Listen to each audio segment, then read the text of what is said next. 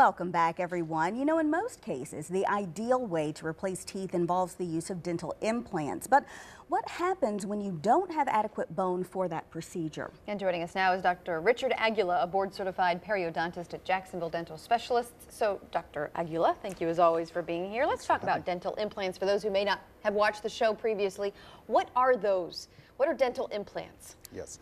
Dental implants are man-made replacements for teeth. It's, they're made out of titanium, which is very readily accepted by the body. The dental implant's placed into the bone and it fuses with the bone in a process called osseointegration. And that's what we're looking at on the screen. Exactly. This uh, shows uh, a single tooth replacement with a dental implant. You've got the implant that gets placed into the jawbone. It fuses with the bone. Then you have an abutment that fits over that and then you have the crown. So there are three basic components. And it's permanent. It's permanent. Yeah. It doesn't okay. come in and now, out. Now, what is this? This just uh, shows how a dental implant replicates a natural tooth. Uh, the dental implant is the closest thing that we have to replicate a natural tooth or replace a tooth.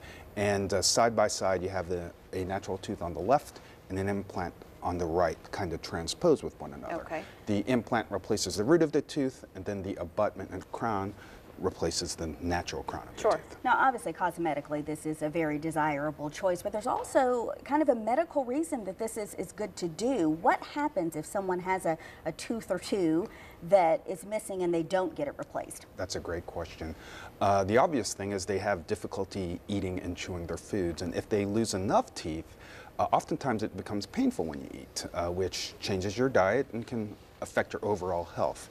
Uh, losing your teeth also uh, affects how we speak. Uh, we can enunciate some of the words that we, we, we say. Uh, losing your teeth uh, also uh, causes one to be less confident, insecure, you know. And uh, what our viewers may not know is when you lose teeth, you lose bone. And I believe the slide showed yeah, uh, we were how, looking at that, how someone's jaw was almost like wasting away, right. for lack yeah. of a better word of putting it, it. Yeah, you typically get bone resorption or loss of bone, and you lose that support for the lips, uh, yeah. the facial musculature. And you can you see add, that on the bottom. So yeah. let me ask you this. How can you rebuild that? If you are going to go in and put dental implants, as we saw in the photo before, which is essentially going into the bone, how can you do that if there's no bone there? Right. Uh, as a periodontist, there are procedures that I can do to build up the bone. It's called ridge augmentation or bone grafting to increase the bone volume in the implant site. And there are two basic ways this can be done depending on where you get the bone you have autogenous bone grafts. So auto means self. So you take bone from somewhere else in your body. And me being a periodontist, uh, I like to go uh, either to the anterior symphysis or the chin area or the wisdom tooth area.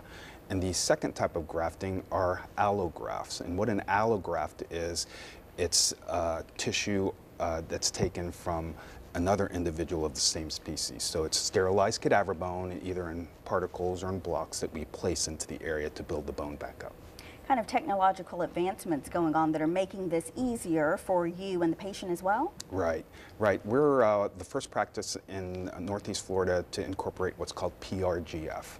And what PRGF stands for is plasma-rich and growth factors.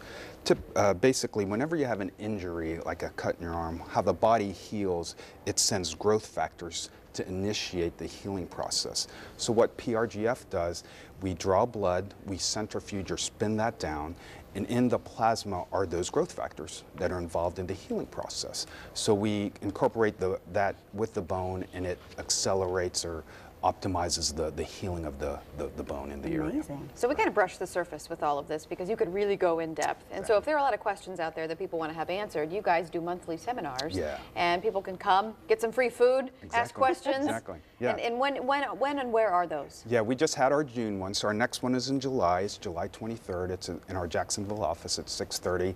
We talk about your tooth replacement options. We also talk about the different services that we offer. And as well, it's during dinner time, so we actually have food for you as well. Oh, so Oh, that's nice. Right. you won't miss out on your meal. Yeah. And get some, and make sure, do you like hand out toothbrushes when you're done just to make sure like people are staying up on Yeah, it? Or? we, do- we do that. Brush after your meal. Exactly. Well, thank you so much, Practice Dr. with- Aguila. We appreciate you as always. you. And thanks to Jacksonville Dental Specialists for sponsoring this segment. And call 904-460-4201 today for your own personal consultation, or you can visit the website to learn more. It's jacksonvilledentalspecialist.com.